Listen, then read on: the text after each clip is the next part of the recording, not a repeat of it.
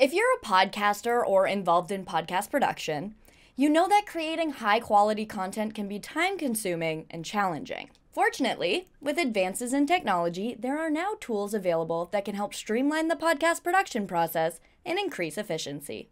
Hi, I'm Bridget from Riverside, and in this video, we're going to be looking at both ChatGPT and Jasper.ai for podcast planning and see which one works better. Jasper.ai is a paid, powerful AI writing assistant designed to help people generate engaging content quickly and easily. It costs $59 a month for 50,000 generated words, but that price will be adjusted based on how many words you need. ChatGPT is a free smart chat box that will conduct human like conversations. Think of it as a really smart robot that can help you with tasks that require skills like research, creative writing, and copywriting. There's also an option to upgrade to the Plus tier for $20 a month. We're going to compare the answers of seven different podcast episode planning prompts so that you can decide if you think it's worth it to upgrade from ChatGPT to Jasper.ai for your podcast planning. The first thing we will ask them is to come up with five episode ideas for a podcast on freelance podcast producing. Here's what ChatGPT came up with, and here's what Jasper.ai came up with. Both programs seem to come up with great episode ideas, but ChatGPT is really helping to lead you on the right track by giving you a short description of what the episode should be about. With ChatGPT, you will have to copy and paste all of the information to another document in order to edit it. One great thing about Jasper.ai is that you can create a document directly on the website and automatically paste and edit whatever you'd like without having to leave the page. Let's work with the episode idea from ChatGPT, finding your niche as a freelance podcast producer. So let's ask the programs to create an episode outline with timing for each segment. You'll see that ChatGPT has created a very thorough outline, giving you segment topics, timing, and the specifics of what you should talk about.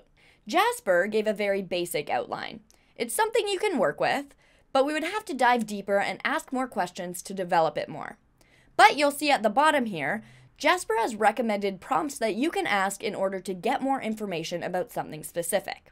This allows you to manually customize that outline a little bit more. Now let's move on to introductions. Create an introduction for this episode. Here's what ChatGPT came up with, and here's what Jasper.ai came up with. Both come up with a pretty good intro, but again, ChatGPT has gone above and beyond. In addition to walking the listener through what will be covered in the episode, ChatGPT also came up with a relatable hook to engage the listener immediately, whereas Jasper just gets straight into what will be covered in the episode. Give me five guests that would be good to speak on the show. ChatGPT will give specific people to reach out to and why, whereas Jasper only gives you ideas of the types of people to reach out to. ChatGPT is definitely more thorough, but you can ask Jasper to give you a specific person that fits the description they mentioned. So, so far, it seems like Jasper and ChatGPT both give thorough information for podcast planning, but Jasper needs to be led a little bit more to get the right responses. This could, however, allow for a more customized episode. Let's use the guest recommended by Jasper. I'm going to ask for the contact information for Andrew. So, ChatGPT will not provide contact information, but it does lead you on the right track in order to find it yourself. Jasper seems to try to provide the info, but the email is hidden, the phone number doesn't look right, and the link doesn't go anywhere. So, not sure that's too reliable. Generate a biography for Andrew Kuklewicz. Here's what Jasper.ai came up with. Here's what ChatGPT came up with. So here it looks like we have to provide ChatGPT with some more information in order for it to track down more information on him. So I'm going to write Generate a biography for digital audio engineer Andrew Kuklewicz. Now we have an even more thorough biography than what Jasper.ai provided. Lastly, let's plan out a conclusion. Generate conclusion for this episode on finding your niche as a freelance podcast producer.